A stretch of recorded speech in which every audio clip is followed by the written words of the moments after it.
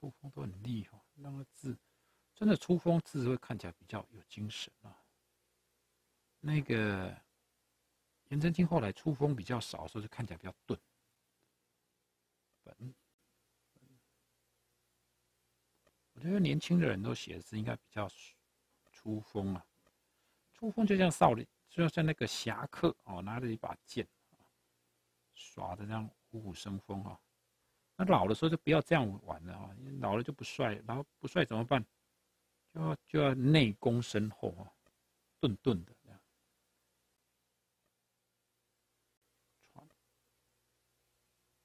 像传统的楷书经常在讲那个长风，那长到最后你会发现中锋、长风，到最后字都写的顿顿的。其实那是老态呀，其实年轻的时候就应该写的意气风发，不用写啊一看就是七老八十人写的字。年轻人就那锋利呀，觉得这样很好。你要体会那种老老的感觉，等你老了哈，有的是机会，一定会有一天老的。想不老都不行。那时候再来写钝的，年轻体力好，不用装老。七，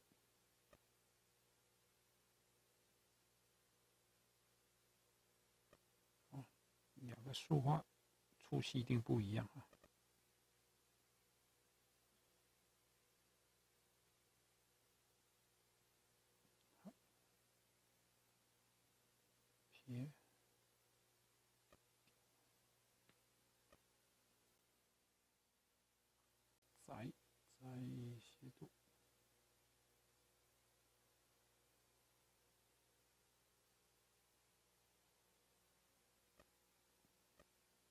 这应该是顶出去的，对不起。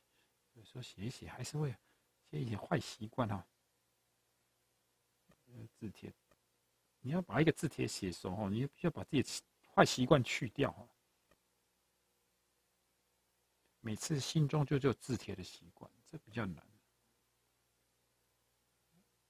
哎，刚刚写完那个楚虽良，就来写这个，确实有点不适应，因为比较硬，楚虽良比较柔软。